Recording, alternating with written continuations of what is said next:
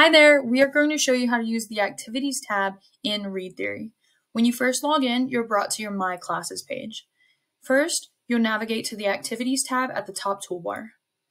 If you've created any activities in the past, they'll show up here. To create a new activity, you'll select the button Create New Activity. You have three options. Select Reoccurring Weekly Activity, you can select Assign a specific passage, or select Start a Competition. Please note that these two features are for our premium users only.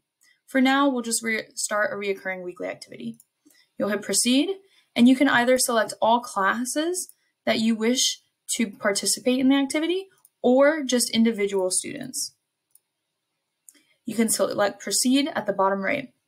On the free version, you are not able to edit these settings, so you'll just have to hit proceed but on the premium version, you're able to select complete or pass or make any changes. You can title it whatever you would like. If it's just for three students, you can add three students' usernames or the dates that the activity is for. You can select finish, and then your students will be presented with the activity on the following Monday. Hope that helps.